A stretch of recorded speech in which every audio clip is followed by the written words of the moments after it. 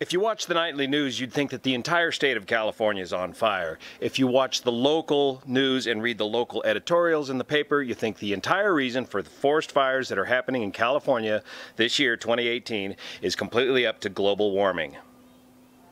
Both are a complete oversimplification of the facts of the forest fires that are going on in California this year and for all years leading up to this year.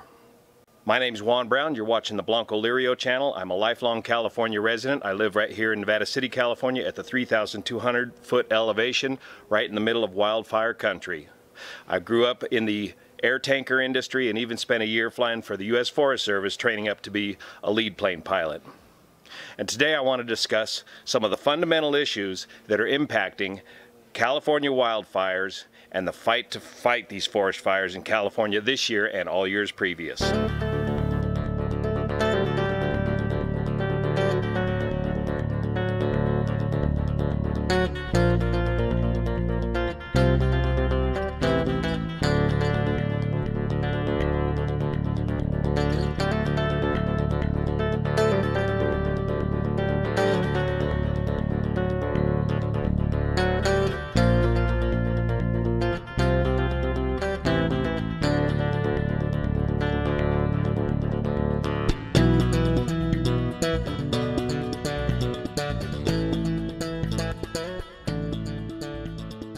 Wednesday, the 8th of August, fairly early still in our California fire season, and already this year, over 712,000 acres of California have been burned. 12 fatalities this year, 8 civilian, 4 firefighters, so far at a cost of over $500 million and counting. There's over 17 wildfires in California going on right now, but there's three major wildfires that have been hitting the news.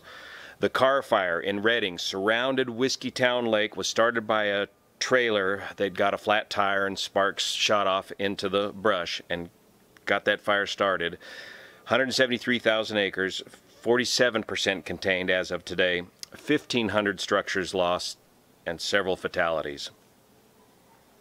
The Ferguson Fire is now a U.S. Forest Service operation that's outside of Yosemite to the west side of Yosemite, 95,000 acres, 43% contained. The Mendocino Complex, that's two separate fires just to the west side of Clear Lake, the north and the south and the west side of Clear Lake. The ranch fire to the north and west of Clear Lake is 251,000 acres, 46% contained, and the river fire just to the south of the ranch fire is about 50,000 acres and 81% contained. Those two fires have not come together.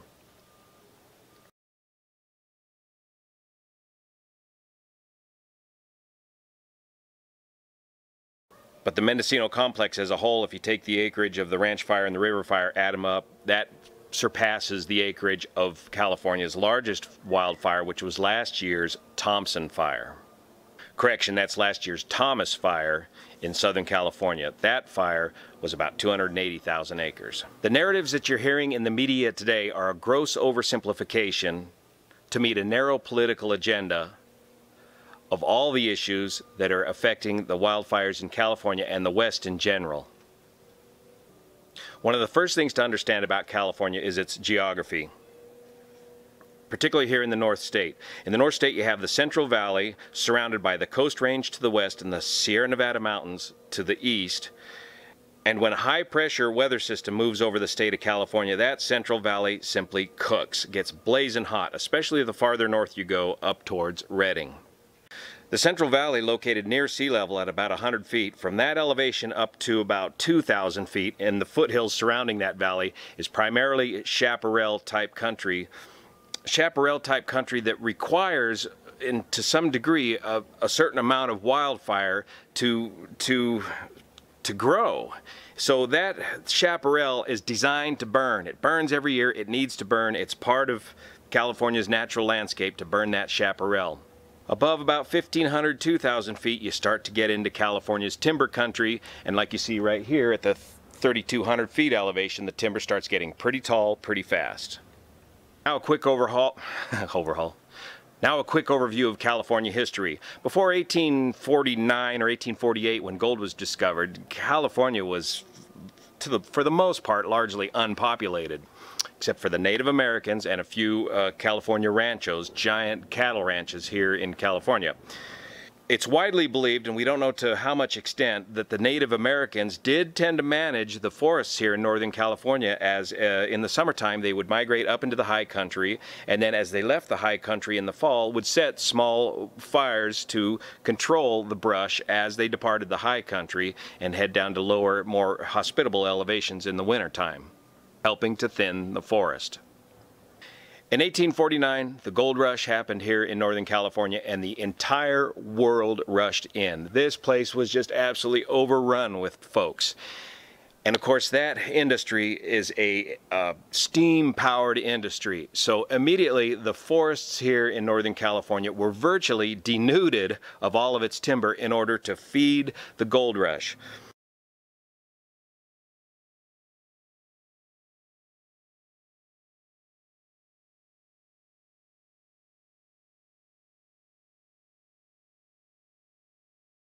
Timber was needed for buildings, mines, uh, structures, trestles, and railroads.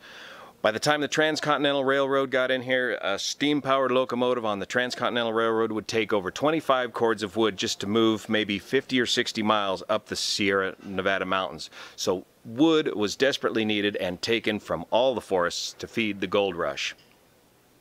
As a result, there's only very few portions of old growth timber in the Sierra Nevada mountains in California. Since the gold rush, the timber in here in California has been a, a renewable resource continuously being harvested until recently.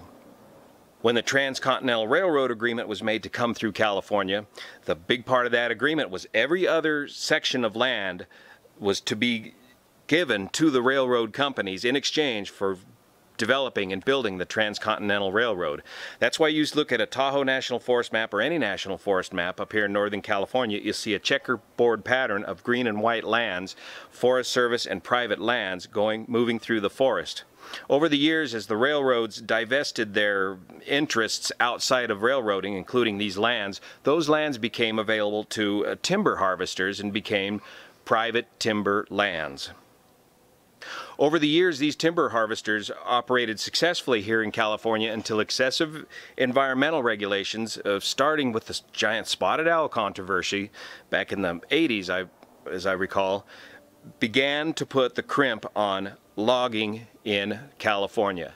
Northern California used to be covered with lumber mills and had a burgeoning lumber timber industry. Today, that's virtually non-existent. While the timber industry was burgeoning here in Northern California, the U.S. Forest Service adopted a, a, policy of fire suppression at all costs to protect these valuable forest lands.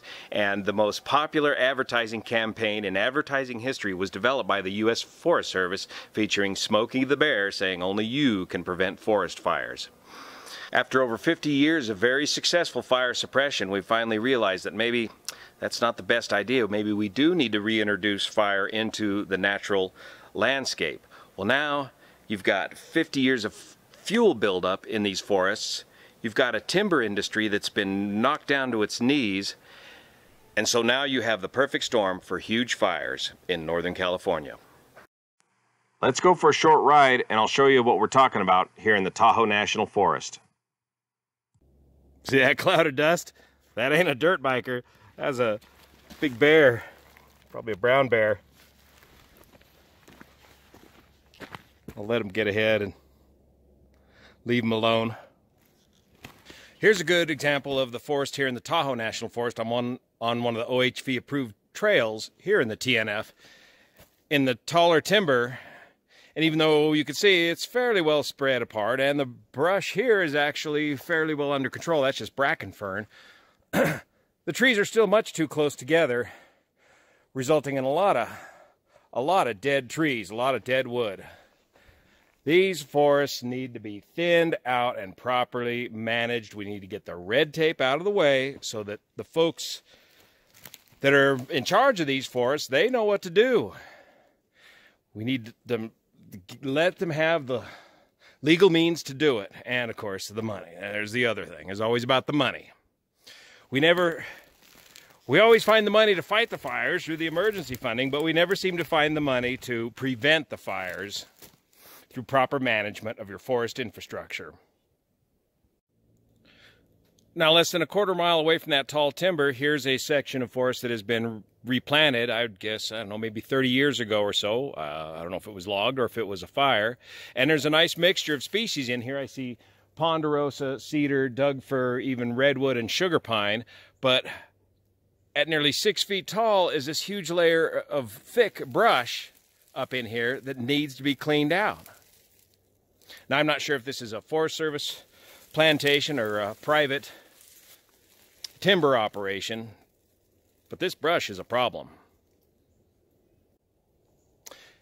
And I'm afraid that the environmentalists and lawmakers that make the red tape and the rules that hamper the proper management of these forests uh, live and come from the big city and spend little or no time out here in the forest uh, with any actual hands on experience to witness the effects of their work.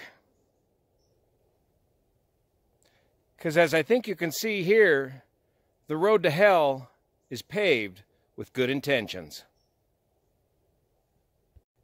And if warming temperatures and catastrophic fires are the new normal out west here, we can redesign our forests to meet those demands.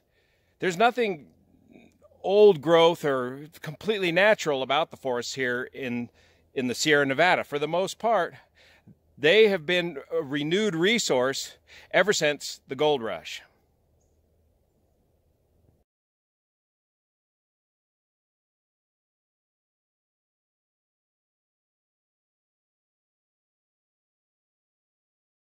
Another unsustainable feature here in California is its real estate, what firefighters call the wildland-urban interface. In the large metropolitan areas of California, developers have been prevented from from developing vertically the needed real estate needed to accommodate a burgeoning population in the metropolitan areas. As a result, real estate prices have simply spiraled out of control, forcing many middle class folks away from the major metropolitan areas in, in California and forces them dispersed throughout the state many of this population are retired folks as well, and they're looking to get out of the city and move to the country. So where do they move to? Where is where is it affordable? It's mostly affordable in the wild urban interface. In that land area just outside of some of the smaller cities eh, throughout Northern California that place them smack dab right in the middle of the 1500 foot elevation where wildfire is so prevalent. So, for example, in the Carr fire, you get a trailer that gets a flat tire, sparks hit the side of the road and set off the chaparral that's designed to burn every few years or so, catches that on fire, quickly grows up out of the canyon into the timber country above that that's not been logged or harvested or maintained or managed or thinned properly, that creates a head of fire so strong that it just barrels right through that timber country and the chaparral country and bumps into the the urban wildland interface, the homes located on the edge of the town of Redding, burning them to the ground. The forests in California are an infrastructure that need to be maintained, just as the spillway was at Oroville. And at some point it becomes unfair to the rest of the nation that the rest of the nation continue to bail out California with emergency funding for a lack of maintenance of its fundamental infrastructure. True, warming temperatures exacerbate these conditions here in California, but fundamentally, political divisions in California prevent both sides from coming together and looking at both sides of this equation and coming up with a reasonable solution, resulting in California's ultimate unsustainability in the future. So if preventative maintenance of our forest infrastructure here in California is to be part of the solution to preventing these giant wildfires, California politicians and environmental groups are going to have to review their policies and procedures of the past and engage some of the very groups that they helped destroy in the first place, for example, the timber industry, to find a logical solution to California's wildfires. See you here.